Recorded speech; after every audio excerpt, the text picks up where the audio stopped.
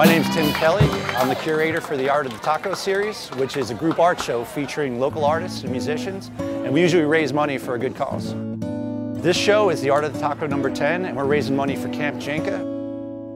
Camp Jinka is offered to kids and teens who are affected by the diagnosis of a brain tumor, themselves or a family member, and we have a lot of survivors that are kids, and um, we just try to do as many things to enrich their life and that interest them on a personal level. Families who are going through a you know a intense medical situation um, are in hospitals all the time, and it could be really stressful. And Surf Taco is really a cool, fun place. The vibe is just a, a way that makes people feel good.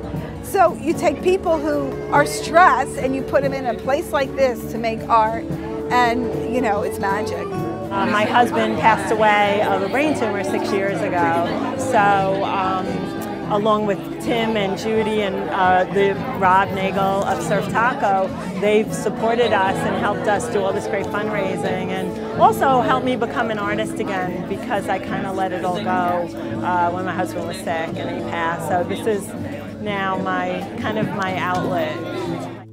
I took this photo uh, about a week or two after the hurricane and we kind of snuck up onto the pier. You weren't allowed to be in Seaside yet. Um, and I ran up onto the beach and one of the cops came up and he was yelling at us and I just took I just took off. I'm like, I'm gonna get this photo. I need this photo. I don't care what he does to me it's like a way to give back, you know.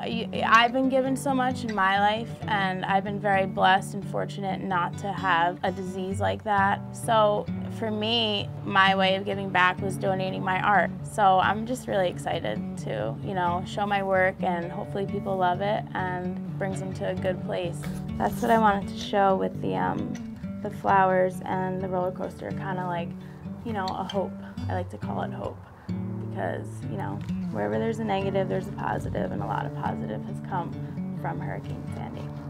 I'm also, on top of being a graphic designer, I am uh, a fine artist, and I created a series called Similar Alien. It's a metaphorical series about art, life, love, and pop culture. You know, sometimes you feel different, sometimes you feel unique, you feel alien. You don't feel like everybody else. Sometimes you're in a relationship, you look at your partner like they're from another planet, maybe they look at you like you're an alien. See, this alien has been to both Mars and Venus, and he can assure you there are no women there. This is the Alien Last Supper. My mother doesn't like that one. Everybody's favorite, Alien Jimi Hendrix. He was definitely an alien. I got involved probably about four years ago.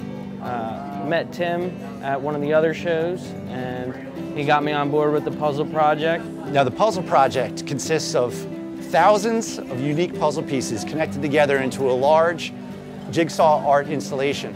Now the cool part is it all began with Surf Taco. We started at the Monmouth County Arts Council uh, Teen Arts Festival in 2009. We received our funding from Surf Taco in order to buy the sheets of foam core, cut them to pieces, and create 800 unique artistic puzzle pieces.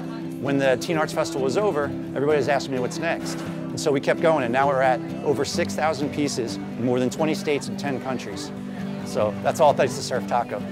This is Ron from Surf Taco Jackson. I've worked for Surf Taco since I was a teenager, and it didn't take me long to realize that this is more than just a restaurant. It's a way of life. It's events like the Art of the Taco that make you realize that this is more than just a business. It's a Jersey Shore original. Surf Taco.